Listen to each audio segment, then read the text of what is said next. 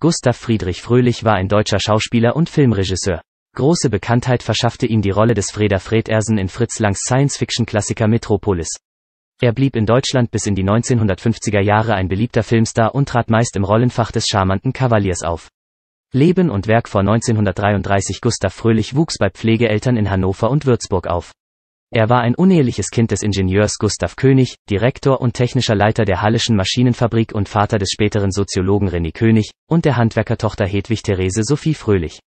Nach dem Besuch eines Realgymnasiums in Berlin-Friedenau leistete er 1916 17. Freiwilligendienst bei der Presseüberwachung in Brüssel und unternahm mit Groschenheften erste schriftstellerische Versuche.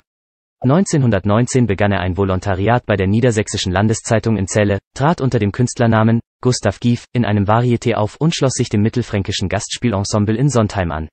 Nach Schauspielunterricht in Heilbronn fand er erste Engagements in Friedberg, Hessen und am Reisetheater der Schwäbischen Volksbühne. 1921 ging Gustav Fröhlich nach Berlin, wo er auf Empfehlung von Paul Henkels für zwei Jahre am Neuen Volkstheater in der Köpenicker Straße engagiert wurde. Von 1923 bis 1925 spielte er an der Volksbühne am Bülowplatz U. A. In Inszenierungen von Erwin Piscator. Anfang der 1930er Jahre trat er unter Max Reinhardt am Deutschen Theater U. A. Als Prinz von Homburg auf. Eine Nebenrolle in Theo Frenkels niederländisch-deutscher Koproduktion Ein neues Leben markiert Gustav Fröhlichs Filmdebüt. Daran schlossen sich Hauptrollen und wichtige Nebenrollen in einer Reihe von Stummfilmen an, unter denen Fritz Langs aufwendiger Uferfilm Metropolis der filmhistorisch wichtigste war. Nach der Einführung des Tonfilms konnte Fröhlich seine Karriere problemlos fortsetzen. 1930 31. verpflichteten ihn Warner Bros. Nach Hollywood, wo er in deutschen Versionen amerikanischer Filme mitwirkte. 1931 trat er in Max Ophüs Musikkomödie Die verliebte Firma neben Leon Dyers und ebenfalls 1931 in Robert Siotmaks Kriminaldrama Voruntersuchung neben Hans Brausewetter und Albert Bassermann.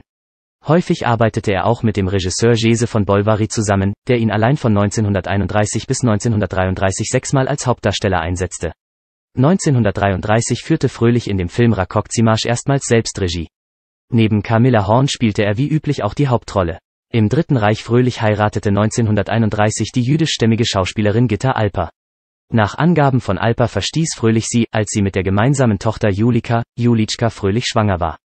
Während eines Empfangs bei Kulturminister Josef Goebbels verleugnete er seine Frau, um sich ungehindert Goebbels nähern zu können und seine persönliche Karriere nicht zu gefährden. Die Ehe wurde 1935 geschieden, als Alper schon im rettenden Exil war.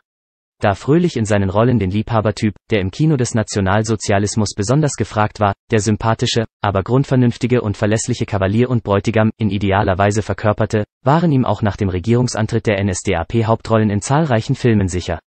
Als Darsteller von Polizisten, Rechtsanwälten, Offizieren, Ingenieuren und Vertretern ähnlicher vertrauenseinflößender Berufe war er meist neben den einschlägigen Darstellerinnen unsentimentaler, moderner, praktisch veranlagter junger Frauen wie Marianne Hoppe, Renate Müller, Ilse Werner und Hilde Kral zu sehen. Daneben drehte er jedoch auch mit Sibylle Schmitz, Brigitte Horny, Camilla Horn und Käthe von Nagy. 1941 heiratete Gustav Fröhlich Maria Hayek. 1935-36 stand er gleich dreimal mit Lida Barova vor der Kamera. Mit ihr war er in dieser Zeit auch privat liiert und wohnte mit ihr bis zur Trennung auf der Insel Schwanenwerder. Lida Barova verließ Gustav Fröhlich schließlich, weil sie ihrerseits eine Affäre mit dem Propagandaminister Josef Goebbels hatte. Im Gegensatz zu vielen anderen prominenten Berufskollegen wurde Fröhlich nach Beginn des Zweiten Weltkrieges allerdings nicht unabkömmlich gestellt, sondern 1941 für 18 Monate zu einem Posener Landschützenregiment einberufen, das er für Dreharbeiten nur jeweils vorübergehend verlassen durfte. Mit durchschnittlich drei Hauptrollen pro Jahr zählt Gustav Fröhlich neben Hans Albers, Willi Fritsch und Heinz Rühmann zu den prominentesten und aktivsten männlichen Stars des NS-Kinos. Nach dem Zweiten Weltkrieg, da Gustav Fröhlich nur vereinzelt an Propagandafilmen mitgewirkt hatte, konnte er seine Karriere auch nach dem Ende des Zweiten Weltkrieges fortsetzen. Bereits 1946 sprang er in Helmut Weiß Lustspiel sagt die Wahrheit für den wegen seiner Nähe zum NS-Regime noch unter Berufsverbot stehenden Heinz Rühmann ein.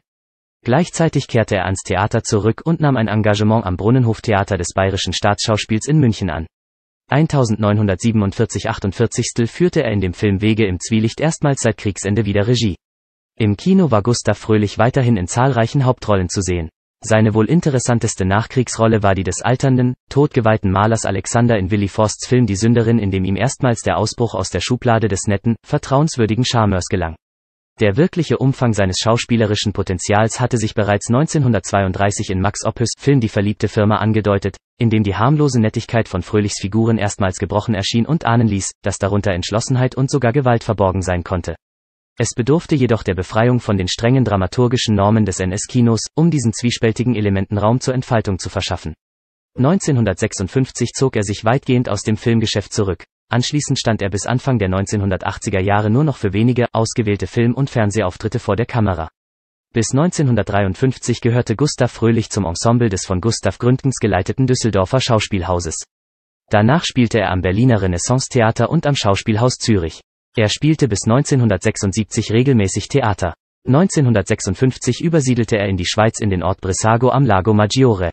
1972 wurde er mit der silbernen Plakette der Stadt Salzburg ausgezeichnet und 1973 von der Bundesrepublik Deutschland mit dem Filmband in Gold. Er starb 1987 im Alter von 85 Jahren nach einer Operation in Lugano. Einige Monate zuvor war seine Ehefrau Maria gestorben. Seine Grabstelle befindet sich an der Urnenwand des Friedhofs Brissago. Literatur und Dokumente Rolf Aurich, Susanne Fuhrmann, Pamela Müller, Lichtspielträume. Kino in Hannover von 1896 bis 1991.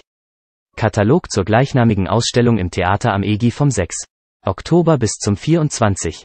November 1991. Gesellschaft für Filmstudien, Hannover 1991 S. 156 F.